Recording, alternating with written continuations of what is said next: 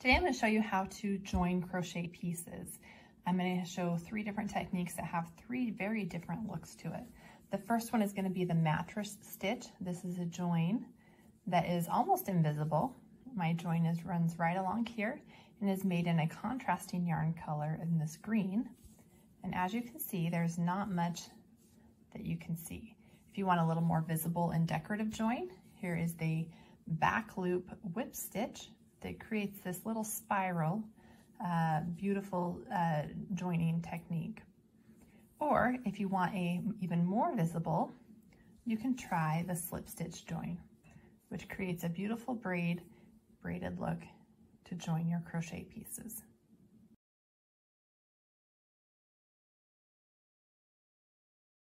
I'm going to show you how to join these two crochet pieces using the mattress stitch. I have made two just basic crochet pieces made of half double crochets to demonstrate this, and they are in a light gray color. I'm gonna use this green sage color so that you can see how much of the join you can see when you, it has been completed. For the mattress stitch, you're going to hold your two crochet pieces next to one another. You will always work from the back of your crochet piece towards the front. So I'm going to begin on the right side and in that very first stitch I'm going to bring my yarn from the back to the front working through the tops of the stitches right here. And just pull that all the way up and then you're going to go into the first stitch on your next crochet piece working from the back to the front again going through the top of both loops of that crochet piece and pulling that tight. Now you're going to continue this repeating back and forth, going from the front or going from the back to the front, working through both loops of the top of the stitch. And then go into the next one from the back to the front, and then to the next piece from the back to the front. And again, from the back to the front. Just alternate this back and forth, going through the top of each stitch.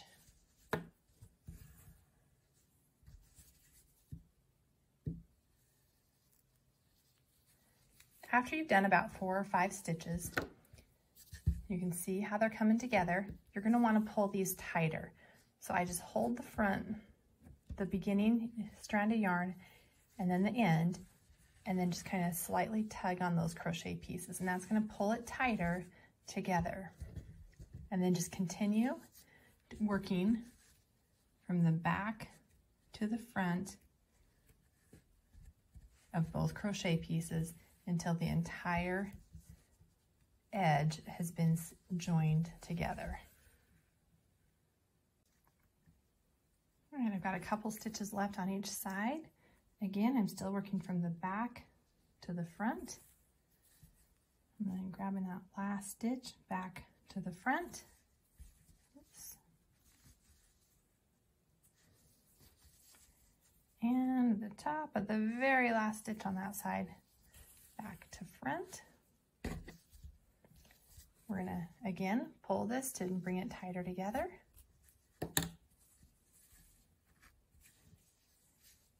And as you can see, here is your join with the mattress stitch. So the join runs right along here. You can see some of the green thread poking through, but it is almost invisible where that join is, right here.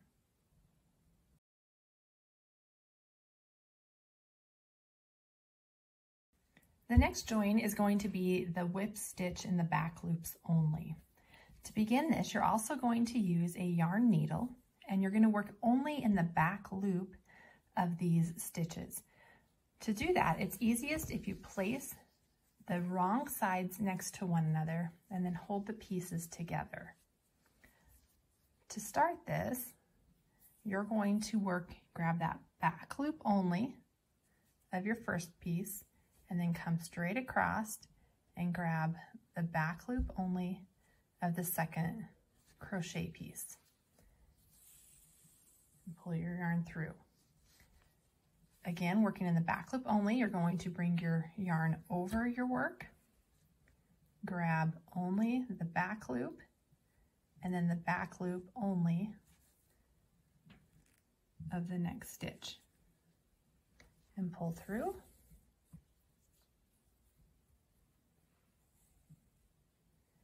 Again, grabbing in back loop only of the next two stitches and pull through.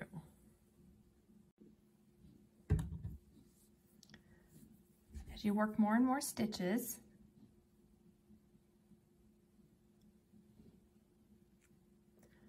Okay, I've got about four stitches done. So this is my fifth stitch.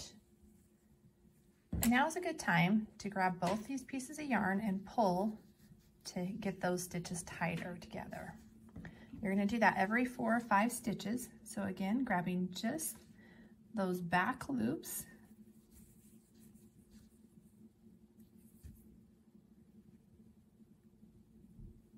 One, two,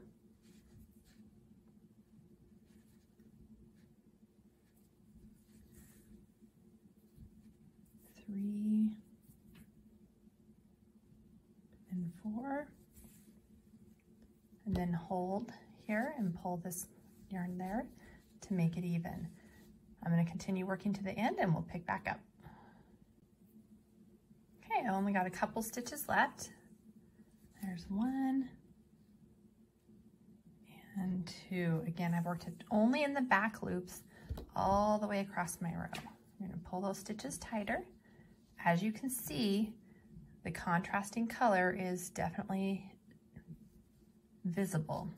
Now we're gonna open these up, and as you can see, there's a very pretty join. It lays nice and flat, but it is visible with this nice twist in the join. If you use the same color, it will be invisible, and that is what your join will look like.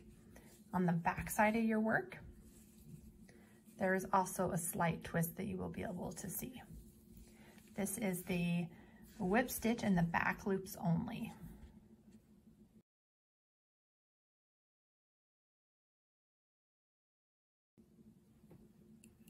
The last joining technique I'm going to show you today is the slip stitch, slip stitch join. You're going to use, again, I'm using a contrasting color of yarn.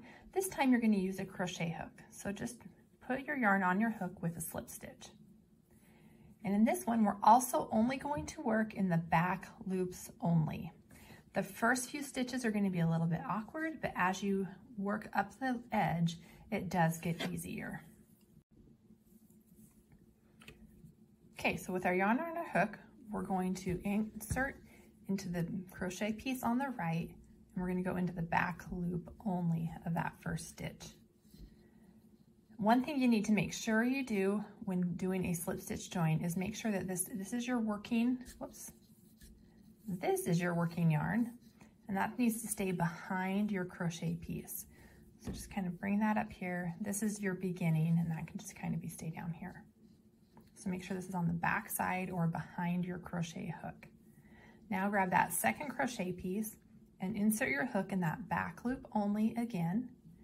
Now take your working yarn you're going to yarn over and pull through that loop, go through that second loop and the joining slip stitch. So now the join has started with that slip stitch. Okay, so to continue, now you're gonna go back into that back loop only of the next stitch on the right side and then go into the back loop only of the next stitch on the left crochet piece.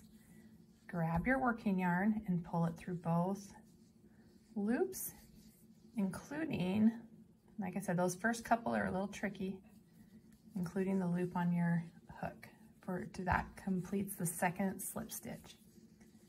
And you're gonna repeat this going up the row.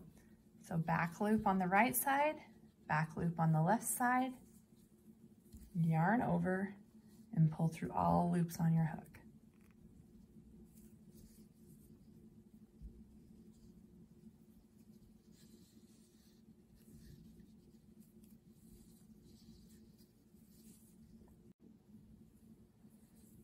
Okay, just have a couple left, still grabbing that back loop only. Back loop only, yarn over, and pulling through all loops on your hook. Last one, grabbing that back loop, back loop, yarn over, pull through all loops on your hook to complete the row. And I'm just gonna kind of loop this through just to finish it off. And as you can see, there is a very beautiful uh, seam that runs up that is very visible on the slip stitch join.